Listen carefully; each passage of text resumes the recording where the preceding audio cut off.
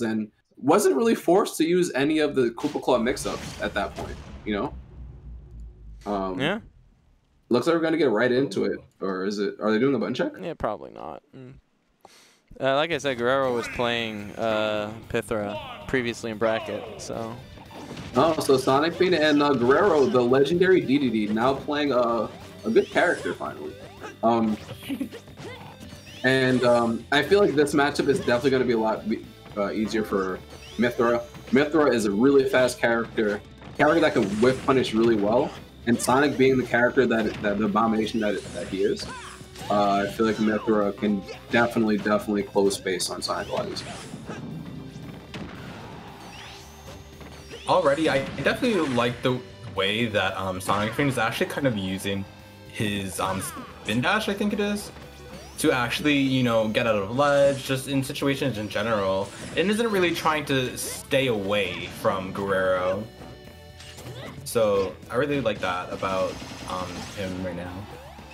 Yeah, Sonic being a little bit more aggressive. Sonic is actually a pretty aggressive Sonic when he wants to be. Um, he definitely has moments where he doesn't interact, but right now you could definitely see him trying to put a lot of pressure on Guerrero and really checking if Guerrero can deal with some of these spin dash to homing attack mix-ups.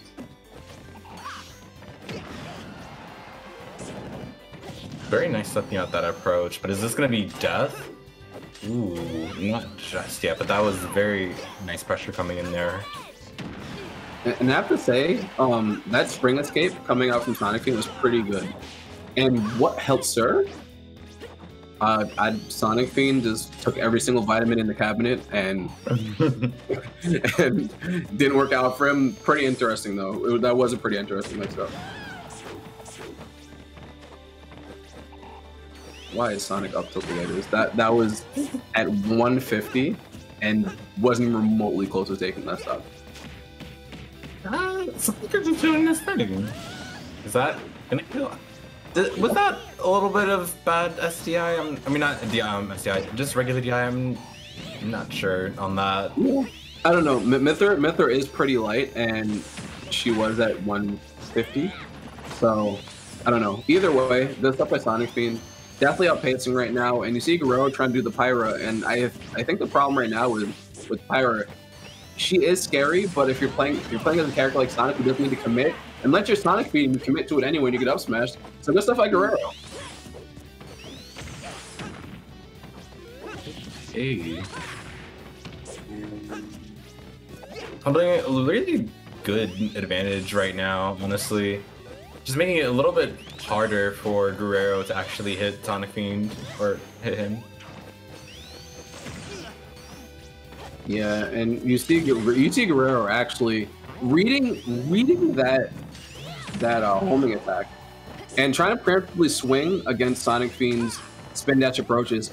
And that's that's you know that is a strategy that you can try to employ. Um, it can be a little hard though, since Sonic spin dash is like pretty hard to react to, especially online. But you know, strategy nonetheless.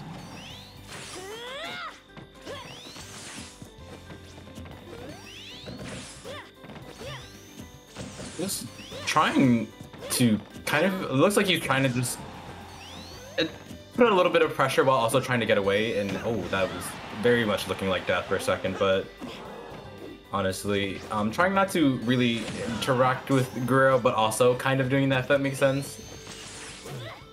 Yeah, it, it, it just seems like Sonic Fiend is spin dashing back and forth, kind of fishing for something.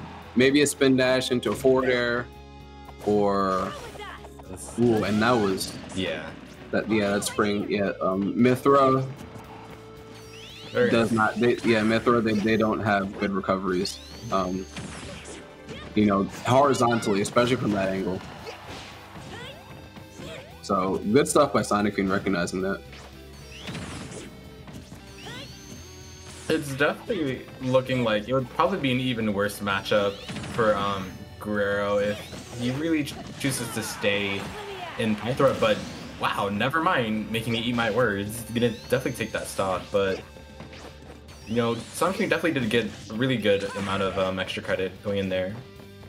Yeah, and something that Guerrero is good at, it seems like, is recognizing when Spin Dash hits his shield and noticing that Sonic Fiend likes to immediately jump up and try to homing attack. And that's the second time that they called out one of those with the forward smash or up air. And um, Photon Edge running into that forward smash, that move is like minus a million on shield. So, um, you know, pretty easy punish for Sonic Fiend. Very nice first game coming in from Sonic Fiend. Yeah. De- it definitely it definitely seems like um you know Guerrero had trouble in the beginning of the game to kind of circumvent Sonic dashing back and forth with spin dash. And that lead definitely carried on um, towards pretty much the whole game one. Um, Guerrero was on the back foot the whole time and only really netted kills as Pyra, and those are kind of like few and far in between um, when he got a hit with Pyra. That up smash is crazy though.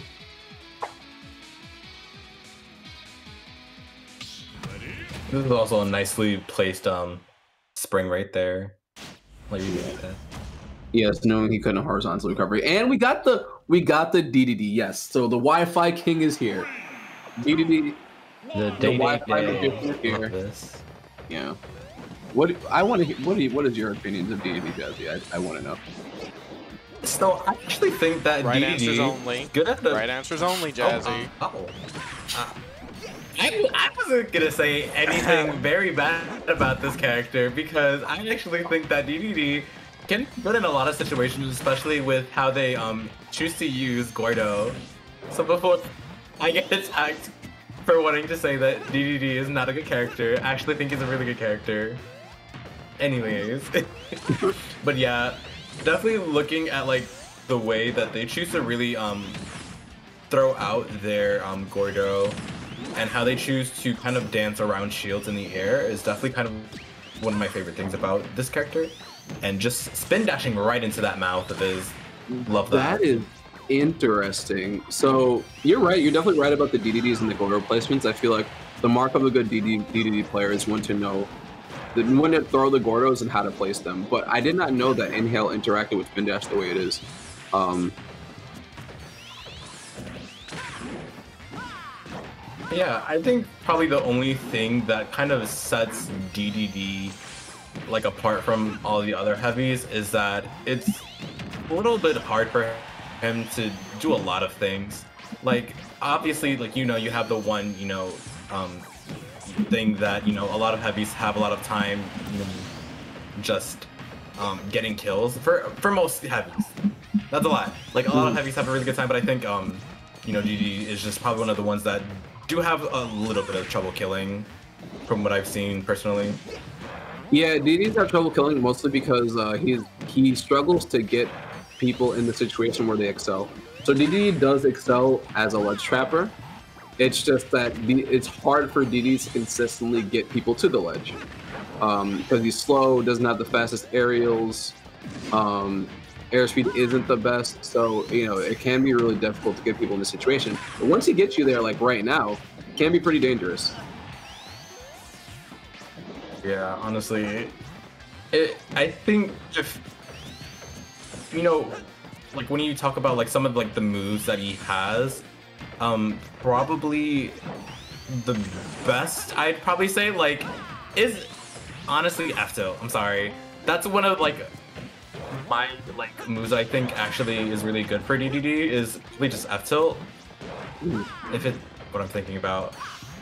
You know, the, no, It's just that it's just that it's really slow. So like a lot of his moves. Yeah, no, F-Tilt is pretty good, and just taking a fist to the face. Um, but yeah, DD does have some good moves. F-Tilt is a pretty good move. Um, one thing that I like that Guerrero is doing is like Guerrero is placing his Gordos really well, and they're utilizing the top two platforms of Pokemon, Pokemon Stadium right now. And especially in a game where Sonic is going to be spin dashing back and forth, and if you want to throw out the Gordo safely and not get retaliated against, you know, um, immediately, I feel like throwing him out and then going to retreating to that platform is a pretty good idea. Going back to um, DDD's F tilt, um, so it's a very nice dash tag placed right there. Um, but in PM, I think it's actually a lot faster than it is in this most of the games that DDD's in, Relevant. um, which I actually would. Well, yeah, but like, it's, when you like use DDD, it's um, I think it has a, less active frames for um, very like faster like output, so you can just throw it out probably like two times, and then it'll just be covering a lot of space while also um, just being fast enough to just um, you know, kind of threaten the um, other player. You know, I, I mean, I, never endorse um, advocating for DDD to be good. But um, one thing I will say though, um, the F tilt in this game, although being slow, is definitely a good tool to throw out at the ledge, and um, it's, it, it is it's still even pretty active in this game. But um, yeah, and right now utilizing those forward tilts to throw Sonic back off the stage twice and making it hard for him to land, and I'm throwing out that back there with Sonic trying to like aggressively land on the ground. That's pretty pretty good stuff coming out from the DDD legend. There will be absolutely no DDD slandering in this household. If not, I think Devin will have our heads. Oh, Wait, what? all, all slander. I hate this character. I mean Sweet. DDD enabling. Wait, what? I hate this I character. mean DDD enabling. That's what you mean. No DDD enabling in this household. Yeah, we, we do not enable. It's penguin. Oh, He just swings. I thought you liked this penguin. I guess. I mean, never mind. Slender, this is what you want.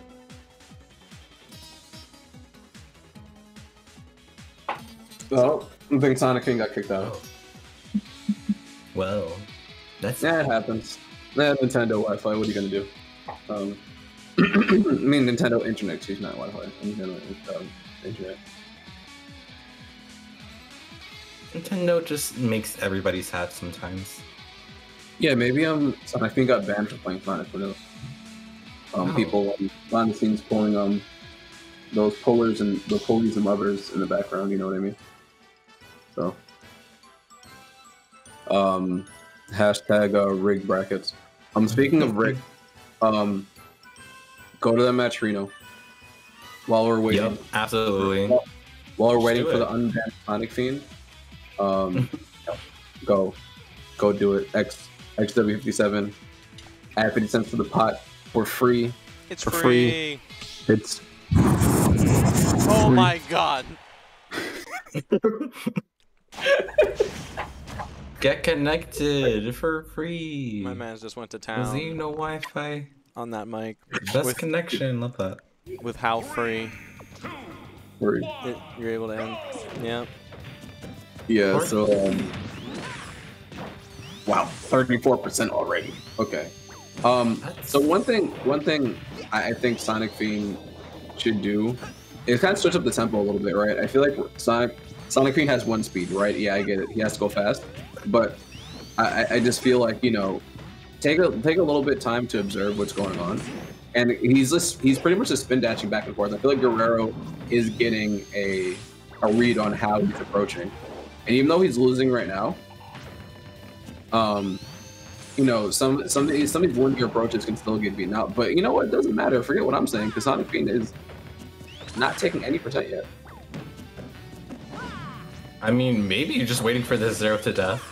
A very long zero to death, but it's still zero to death nonetheless. But yeah, as you were saying with the um, just slowing it down, I also kind of agree with that um fact. Just because simply, you know, DDD can place a lot of like of his tools around, especially on like the stage. So being able to just kind of learn how to maneuver it really well would probably be like the best course of like such um action for um Sonic Fiend. Yeah, and Guerrero getting some percent, but like at a big deficit. Now, now this is this is the trouble for Sonic right now. How will he get the stock? And another call out by Guerrero, and that's something he's been consistent with even as Pyra and Mythra, calling out some of these some of these spin dashes onto shields into um, into homing attack. And you know, something that Sonic Fiend does need to watch out for is the percent to get later and stronger. You can also actually mix that up, I'm pretty sure, if you like probably jump a little bit higher or I know there's definitely ways you can actually mix that up. I'm not entirely sure, but I've definitely seen it before from a lot of Sonic games when we set up a different that. That reaction was wild. Okay, so yeah, Guerrero's definitely scouting these out. Like he's scouting out every single one of these homing attacks, and it seems like having punish for each one. But being speaking of punish, DDD's big body just got him smoked by the up smash. Uh, we're gonna talk about That's that. so crazy.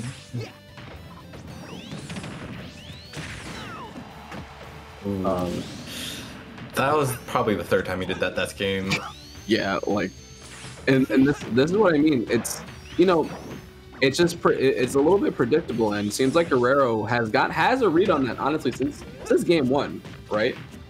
But um, you know, Sonic Fiend, you know, still playing well, right? You know, he's still gaining a lot of percent, but still something that he needs to watch out for. Because if he does that again at one of these late percents, that could be his stock, and he could, you know, losing his stock pretty early.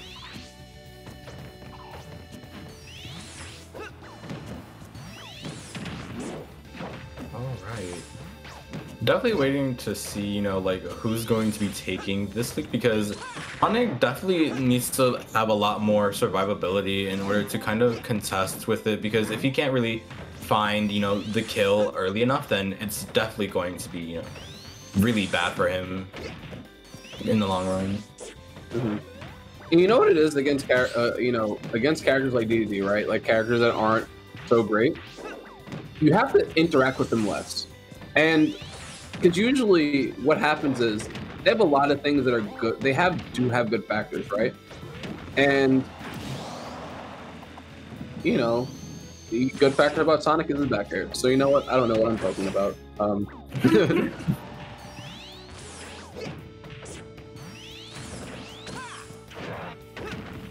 Oh my god. And just like you said, there's that mix-up that you were talking about. Um, instead of jumping out of it, um, instead of immediately going to a home attack, we got an air dodge out of Sonic Fiend that time. Is that gonna kill? Yeah, so we're gonna see that back air coming in from Guerrero. Um, definitely tying it up just a little bit. Um, and very nice F tilt as well coming in, punishing that um spin dash. Yeah. But definitely Yeah. love the ways that you know. I'm sorry, uh, Guerrero is actually trying to punish all of these options out of Shield, especially since um, he's a bigger character. I feel like um, it'll be a lot easier to kind of reach Sonic, as opposed to like other characters who can't really punish him out of Shield. hmm And you know, Sonic Fiend does need to be careful, right? Like even though Sonic Fiend is in the lead right now, Sonic Fiend is playing with fire when he's doing these things, and um, it can work out in the end. But this is definitely something that maybe in the future, depending on how this game turns out, like you just something you need to be wary of.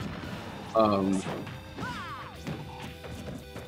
but um, but you know what? You know, and also you know what it is. It's like you know, if if it ain't broke, don't fix it. And it looks like it's not broken yet.